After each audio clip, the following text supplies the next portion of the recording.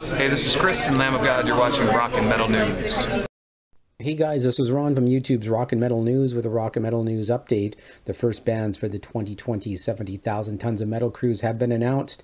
They're going to call this cruise Round X or Round 10, and some of the bands are Emperor, Epica, Haggard, Origin, Leaves Eyes, Candlemass, and more. You can check out the full band list in the description of the video. The cruise will set sail from uh, Miami, Fort Lauderdale, Florida to Cozumel, Mexico from January 7th to 11th. You can check out more information in the link in the description. This is Ron from YouTube's Rock and Metal News. Thanks for tuning in.